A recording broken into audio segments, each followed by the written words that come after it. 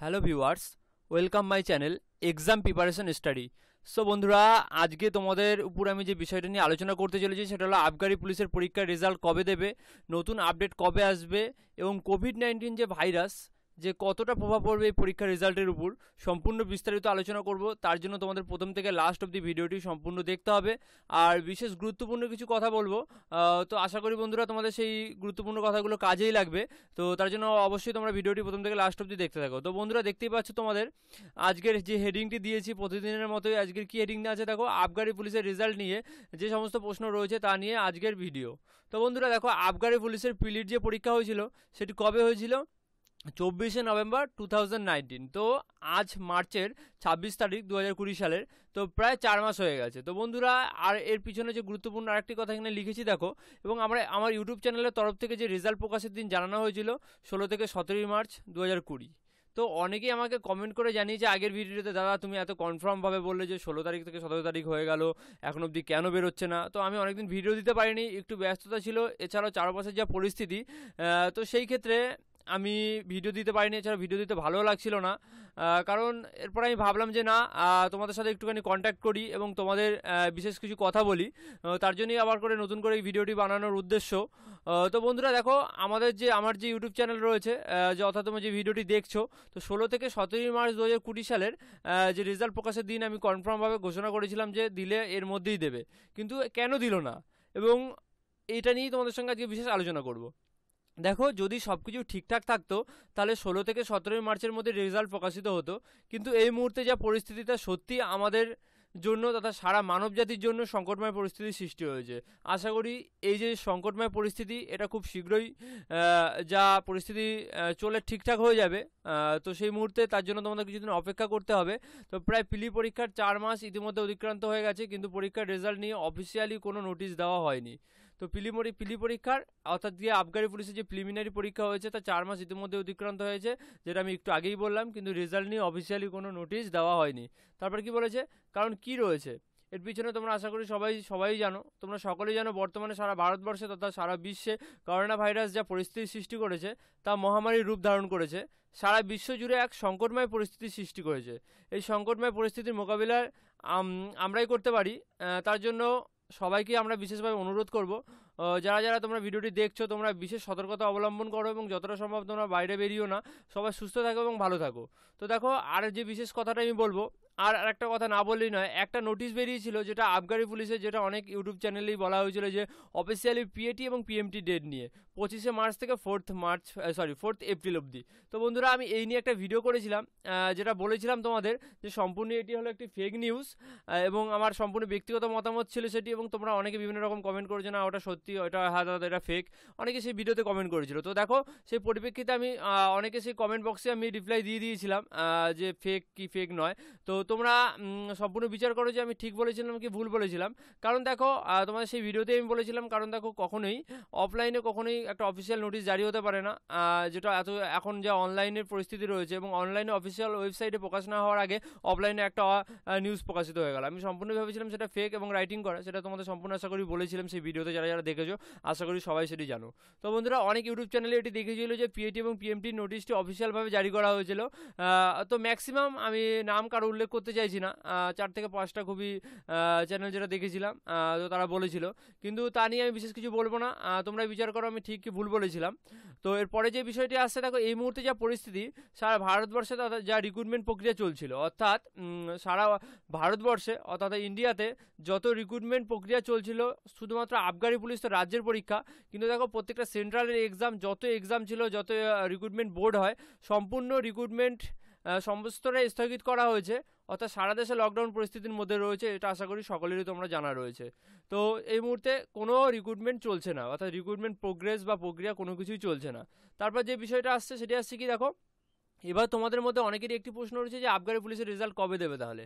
দেখো, এখন যা পরিস্থিতি তো এই মুহূর্তে সঠিক উত্তর দেওয়া কখনই কারও পক্ষেই সম্ভব নয়। কিন্তু দেখলাম আমি দেখলাম যেটা দু তিনটি ইউটিউব চ্যানেল দিয়েছে এবং তাদের সম্ভাব্য ডেট ঘোষণা করেছে। জানি না তারা কীভাবে এরকম একটা সম্ভাব্য ডেট ঘোষণা করতে পারে। তো সেই নিয়ে আমি কিছু বলতে চাই না। কিন্তু তাদের দেখলাম এবং দেখার পরে আমি ভাবলাম যে, না, তোমাদের সঙ্গে আসল ব্যাপারটা শেয়ার করি। তো তার জন্য এই ভিডিওটি বানানো। তো এই দেখো, এই মুহূর্তে কখনই কোনো ব্যক্তির দেওয়া সম্ভব নয় যে সম্ভাব্য ডেট নিশ্চিত করে এটি আপডেটই দেওয়া কখনোই সম্ভব নয়। কারণ দেশের যে পরিস্থিতি, এই মুহূর্তে হাতের নাগালের মধ্যে রয়েছে সত্যি পরিস্থিতি। কিন্তু পরিস্থিতি যখন হাতের নাগালের বাইরে চলে যাবে আমাদের দেশ তো সারা ভারতবর্ষে সম্পূর্ণভাবে নির্মূল হয়ে যাবে। কিন্তু কখনোই আমরা চাইব না এরকম পরিস্থিতি আসুক আমাদের আমাদের দেশে। সুতরাং এই মুহূর্তে যে পরিস্থিতিতে সম্পূর্ণভাবে কবে ঠিক হবে, তা নিশ্চিতভাবে কিছুই বলা যায় না। তাও পরিস্থিতি সম্পূর্ণভাবে ঠিক হতে দুই থেকে তিন মাস লেগে যাবে। এই মতামতটি সম্পূর্ণ আমার ব্যক্তিগত। দেখো, দুই থেকে তিন মাস যে লেগে যাবে, এটা সম্পূর্ণ আমার ব্যক্তিগত মতামত। তাই সেটাই তোমাদের সঙ্গে শেয়ার করলাম। হয়তো অনেকের দ্বিমত থাকতে পারে। অবশ্যই সেটা তোমরা আমাকে কমেন্ট বক্সে জানাতে পারো। তো তোমাদের কী মতামত? তো যাই হোক, দেখো এরপর কী রয়েছে? এছাড়াও আমার যেটা মনে হয় আবগারি পুলিশের রেজাল্ট দু হাজার কুড়ি এর আগস্ট থেকে সেপ্টেম্বর মাসের মধ্যে প্রকাশ হওয়ার সম্ভাবনা রয়েছে। দেখো, এই এই যে আমি যে ডেটটা তোমাদের বললাম আগস্ট থেকে সেপ্টেম্বর, এটা হয়তো অক্টোবর, নভেম্বর চলে যেতে পারে দু হাজার একুশ সালও চলে যেতে পারে। কারণ দেখো, পরিস্থিতি সম্পূর্ণই নির্ভর করছে তোমাদের উপর। তোমরা কতটা সেফ থাকছো, তো তার উপরে। কারণ দেখো, পরিস্থিতি যতটা না ছড়াবে ততটাই আমাদের সঠিকভাবে আমরা থাকতে পারব। তো পরিস্থিতি ছড়িয়ে গেলেই তখন অসুবিধা রয়েছে। কারণ দেখো, এর জন্য তোমাদের, অবশ্যই তোমাদের লকডাউন যে পরিস্থিতি সৃষ্টি হয়েছে গোটা দেশ সেটা অবশ্যই তোমরা পালন করো। তো সম্ভাবনার উপরে আমি ছেড়ে দিতে পারি। কারণ দেখো, আগস্ট থেকে সেপ্টেম্বরের মাসে এটাও তোমাদের আমি সঠিকভাবে কিছু বলতে পারি না। কারণ পরিস্থিতি ঠিক হওয়া না হওয়া অবধি কোনো কিছু বলা যাবে না।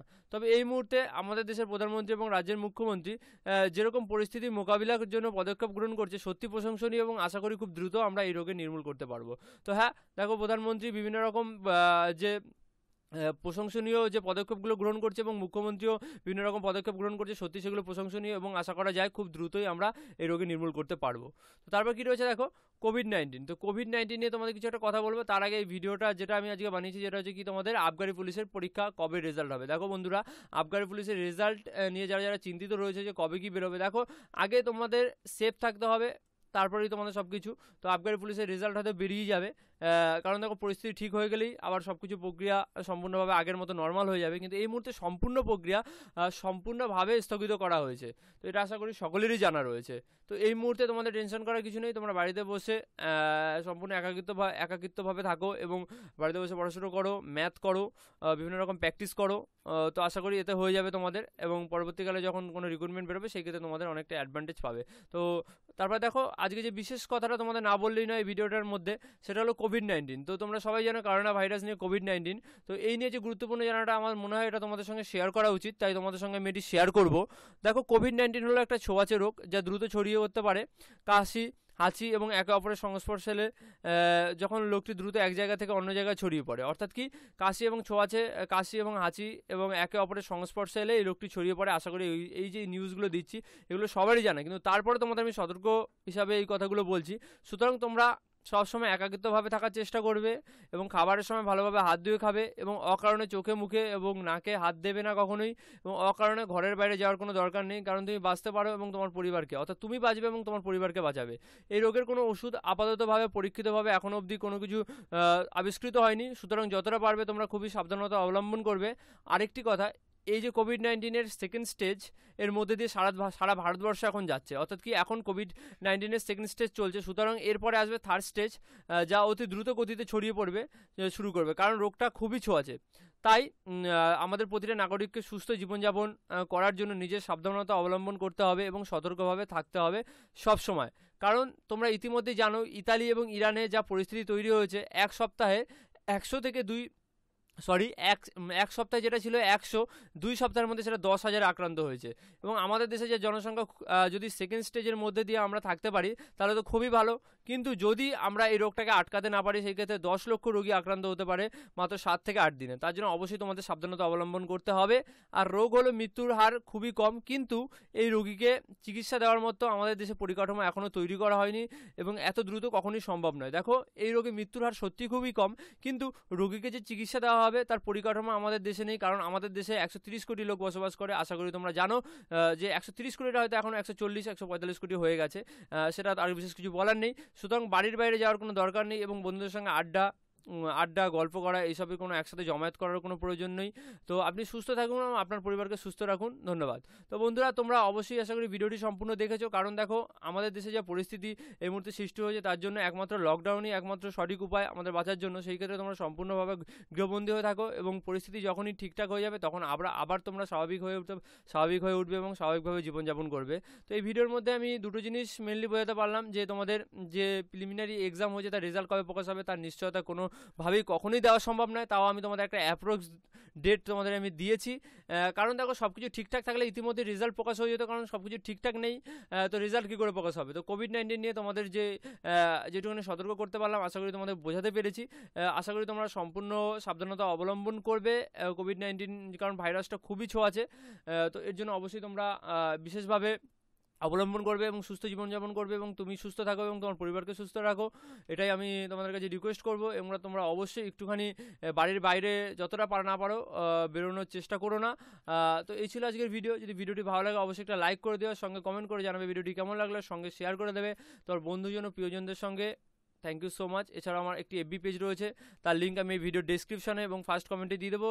যেখানে অনেক কিছু অফিসিয়াল আপডেট যেগুলো আমি ইউটিউবে দেওয়া সম্ভব হয় না যেগুলো সেখানে আপডেট দিই। তার লিঙ্ক আমি ভিডিও ডিসক্রিপশনে এবং ফার্স্ট কমেন্টে দিয়ে দেবো। তো বন্ধুরা, সম্পূর্ণ ভিডিওটি দেখার জন্য তোমাদের অসংখ্য ধন্যবাদ। Thank you so much